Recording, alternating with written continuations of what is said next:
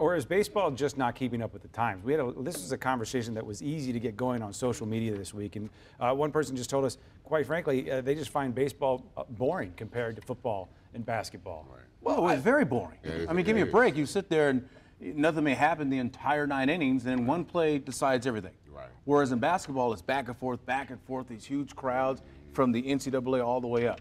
You look at football once a week. Everybody's geared up for that one game. Beat your rivals. In baseball, you play your rival, you play the Cubs.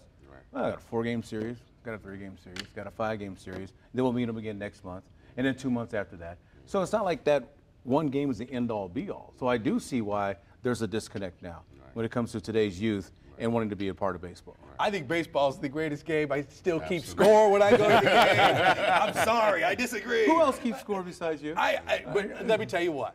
It, when I was 20, everybody was doing it. Yeah. By the time I was 50, nobody. was doing it. Yeah. So uh, that's it. You- You're right. The attention span and what people want to get out of baseball is different. Game has changed. You know, we went through an era where balls were flying out of the stadium, 70, 75 home runs at a time, and everybody was losing their mind. We found out there was a little bit more to that than just baseball talent. But b- baseball went crazy. Stealing a base, why would you steal a base? You better stand there and let that guy hit.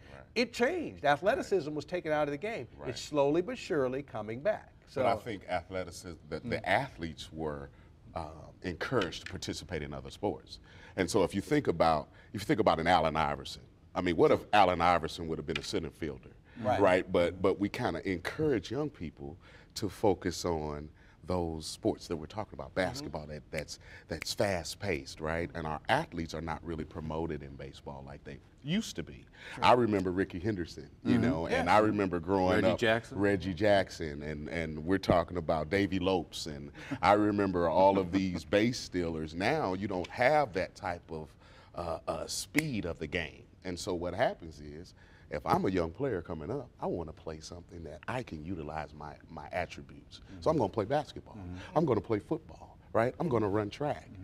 And even in some high school programs, if you're an athlete on the football field, they're going to encourage you to run track in Yeah. the spring. Uh, and, and so now we're competing in seasons, right? Mm-hmm. And so uh, I had an example like that growing up in high school. I was I love baseball. My dad is a huge Dodger fan. Uh, I shouldn't say that publicly in St. Louis, but he's a huge Dodger fan. Wanted me to play baseball. Got to the eighth grade. Um, they kind of said, well, you know, if you want to play football, Yeah.